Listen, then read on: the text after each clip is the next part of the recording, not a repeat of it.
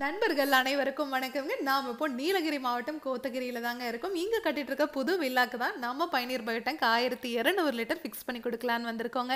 ஏழு பேர் வரைக்கும் இருக்கிற ஃபேமிலிக்கு இந்த டேங்க் சைஸே போதுமானதுங்க. இந்த டேங்கை நம்ம இப்போ எங்கே ஃபிக்ஸ் பண்ண போகிறோம் அப்படின்னு கேட்டிங்கன்னா கார் உள்ளே போகிற ரேம்பில் தான் ஃபிக்ஸ் பண்ணி கொடுக்க போகிறோம் ரேம்பில் ஃபிக்ஸ் பண்ணி தரேன்னு சொல்கிறீங்களே கார் மேலே ஏறினா ஒன்றும் ஆகாதா அப்படின்னு கேட்டிங்கன்னா கண்டிப்பாகவே ஒன்றும் ஆகாதுங்க. ஏன்னா பத்து டன் வரைக்கும் இருக்கிற வெஹிக்கிள்ஸை இந்த டேங்க் மேலே பார்க் பண்ணால் கூட ஒன்றும் ஆகாதுங்க. அவ்வளோ ஸ்ட்ராங்காக இந்த டேங்கை நம்ம மூணு லேயர் எஃப்ஆர்பி மெட்டீரியலில் செஞ்சுருக்கோம். இரும்பை விட உங்களுக்கு அஞ்சு மடங்கு உறுதியானதுங்க இந்த டேங்க் அதனால இந்த டேங்க் லீக்கேஜ் ஆகிறதோ இல்லை துரு பிடிக்கிறதோ இதிலிருந்து தண்ணீர் ஓவர்ஃப்ளோ ஆகி வெளியே வர்றதோ இல்லை வெளியே அதிகமாக மழை பெஞ்சதுன்னா வெளியே இருக்கிற தண்ணி இந்த டேங்க்குள்ளே வர்றதோ அந்த மாதிரி உங்களுக்கு வாழ்நாள் முழுக்க எந்த ப்ராப்ளமும் இருக்காதுங்க. நீங்கள் வாழ்நாள் முழுவதும் லாரி வச்சு க்ளீன் பண்ணவும் தேவையில்லைங்க. இந்த டேங்க்குக்காக ஒரு ரூபா கூட மெயின்டெனன்ஸும் நீங்கள் செலவு பண்ணவும் தேவையில்லைங்க. செப்டிக் டேங்க் அப்படின்னாவே நீங்கள் செங்கல் மணல் வச்சு கட்டியிருப்பீங்க இல்லைங்களா?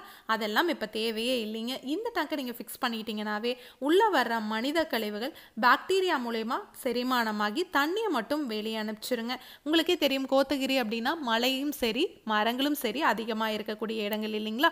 இந்த மாதிரி இடத்துலையெல்லாம் நீங்கள் பயோ டேங்கை காங்க்ரீட்லேயோ இல்லை பிவிசிலேயோ இல்லை சிங்கிள் லேயர்டு எஃப்ஆர்பி மெட்டீரியலையோ வாங்கி ஃபிக்ஸ் பண்ணிங்கன்னா மரத்தோட வேர்கள் துளையிட்டு கழிவுகள் வெளியே வர ஆரம்பிச்சிருங்க.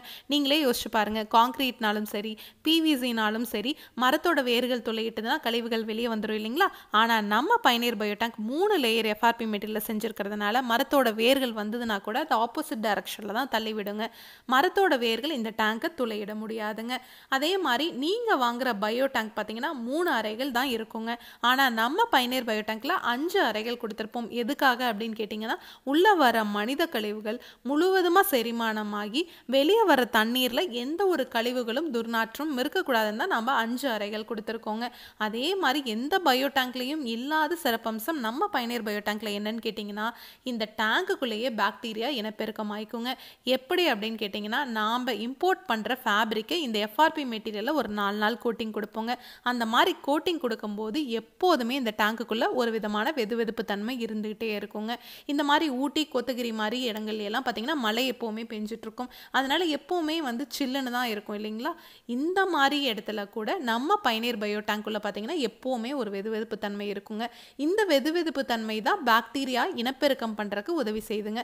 இதுவே நீங்கள் மார்க்கெட்டில் கிடைக்கிற எந்த பயோ டேங்க் வாங்கி ஃபிக்ஸ் பண்ணிங்கனாலும் பாக்டீரியாவை நீங்கள் மூணு மாதத்திற்கு ஒரு முறை கடையில் பணம் கொடுத்து அதாவது ரெண்டாயிரம் மூவாயிரம்னு பணம் கொடுத்து வாங்கி உள்ளே போட்டிங்கன்னா மட்டும்தான் உள்ளே இருக்கிற மனித கழிவுகள் சுத்தமாகுங்க. ஆனால் நம்ம பயனீர் பயோ டேங்க் உங்களுக்கு பாக்டீரியாவுக்கும் ஐம்பது வருஷம் வாரண்டி கொடுத்துறோம் டேங்க்குக்கும் ஐம்பது வருஷம் வாரண்டி கொடுத்துட்றோங்க இதை பற்றி இன்னும் டீட்டெயிலாக தெரிஞ்சுக்கணும்னா பயனீர் பயோசெப்டிக் டேங்க்குங்கிற யூடியூப் சேனலுக்கு போய் நாம் இன்ஸ்டால் பண்ணியிருக்க.